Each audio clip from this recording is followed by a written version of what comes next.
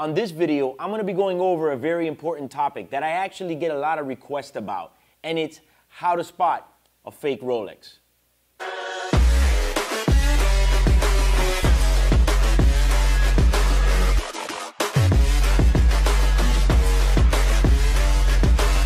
All right, so for Rolex, there's a lot of different models that they have, and there's a lot of different ones that are copied. I would say that the one that they do the best job on is the Submariner. It seems to be the one that gets the closest to look exactly like the real product. This particular example that I have here is a yellow gold sub. And I don't know about you guys, but the first thing that I spot right off the bat is the color. Right here with both of them in front of me, it's pretty easy to see which is the one that it is. Obviously, this one right here, looking a little bit cheddar cheese gold, is the one that, in my opinion, just shouts fake right off the bat.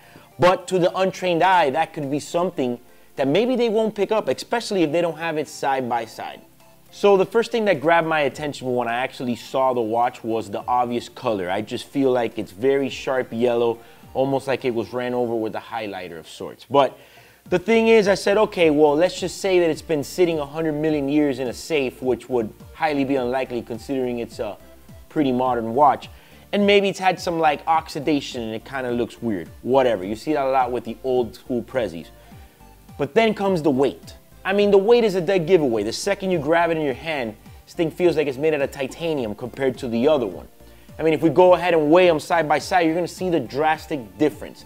So right off the bat, we're going for the color. Then second was the weight. But let's see exactly what was the difference in weight. All right, so the obvious fake when you put it on the scale, it comes in at 148 grams, 147 around there.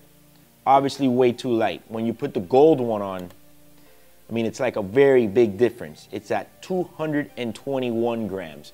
So it's a big difference because obviously gold is a lot denser and way heavier than stainless steel.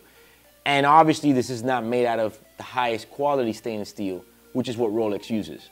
So my guess is obviously it's a stainless steel sub that they kind of use like a PVD coating of sorts and kind of just, in other words, gold plated it.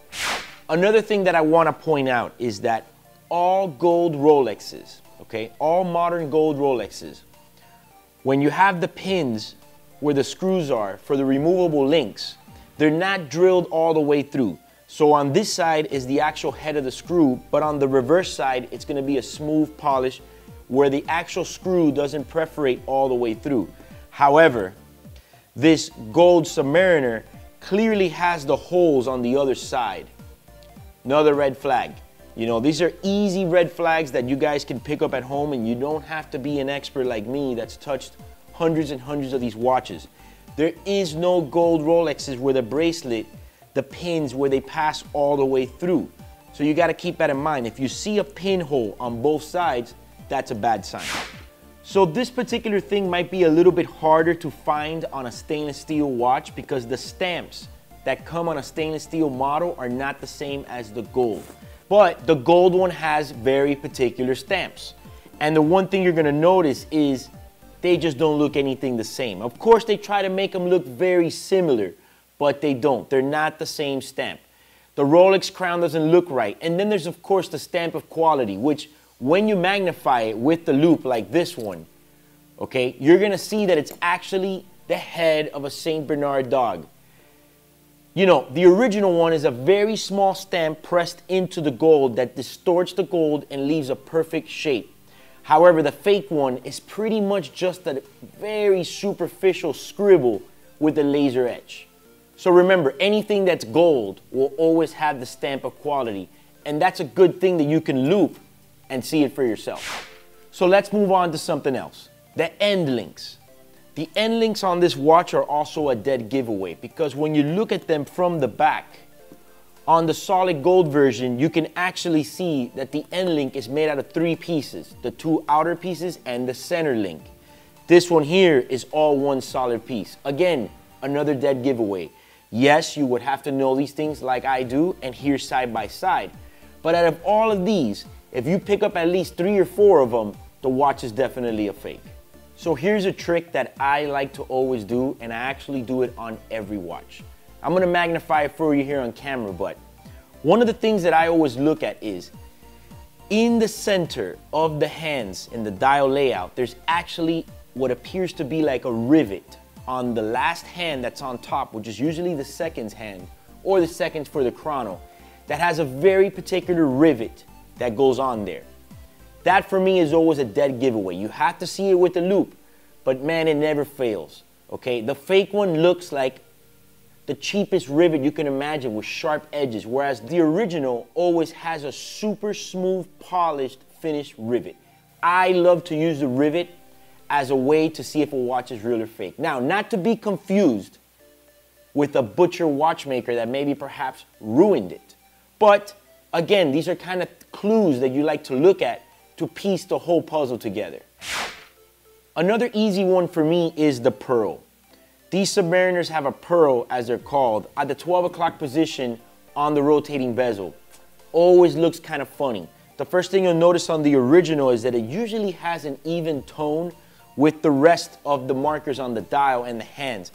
Whereas the fake always looks always wider or it looks wider, you know, so the tone won't be right, the size won't be right, stuff like that. It also seems to be always taller when it's fake. Now look guys, I have a bunch of different things that are just different on this watch and we can go on this video for 30 minutes. You know, the clasp layout actually looks pretty good. Stampings are all wrong. Clearly it's just been gold plated, but the clasp actually looks pretty good. It's dead on. But a little one that I like to use that's always a shortcut on these fake Rolexes is the original, the bezel, actually sits on top of roller balls and springs and it will always have a little bit of like a spring action, almost like you can push the bezel down a little bit. It will move very little, but it'll have a spring action.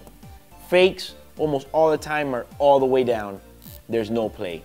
So that's one of the easiest ways that you can tell if these watches are real or fake without opening the movement. Obviously, when you open up the movement, there's gonna be a big surprise. This thing on the outside looks great, but the inside is janky. And don't ever let that be just a signifying sign because there has been cases, maybe not on this gold one, but perhaps on a stainless steel one, where people have put a clone mechanism or perhaps even an older mechanism that maybe they pieced up at a cheap price to kind of make it feel like it's, you know, to kind of make it feel like it's original. People will go above and beyond to make these things happen. Now remember that some of these fake watches were puzzled together not so a guy can wear them and flex on the Instagram and act like he's actually has money or can afford when he doesn't. But sometimes it's more just so that they can rip somebody off and actually turn a profit out of these fake watches. Yeah, like honestly, the, the dial is, is pretty nice. The dial is very nice and it looks very, very good. And the bezel, the actual ceramic bezel insert is also pretty impressive. I mean, overall, I feel like the dimensions are almost spot on, okay? There's always gonna be little trails, but I'm quite impressed by the finish and the look of the hands, the dial, and the bezel insert. So pretty much if you follow some of these guidelines that I put out there, like I said, I can go on this for about an hour and a half because the differences are there and I see them. But you wanna use these quick little reference guides to kind of piece it together. And remember, one thing for me won't ever tell me if the watch is fake. You have to have several of them that's gonna piece the puzzle together and really prove it to you. This one being gold for me, the easiest thing would be the color and the weight. There's no way that they can mimic that. However, there has been some watches where I don't know how they did kind of weigh it down a bit and it was very similar. This one is a dead bust just on weight and color. But be careful out there when you're buying a watch from someone you don't know. And like the saying always says, buy the seller first, then buy the watch. So feel free to comment below on any things that you might have noticed on this watch. And don't forget to hit the notifications bell till it looks like this. And if you like this video, please like and share. Also, subscribe to our channel. My name is Eric. This is Watch Your Style.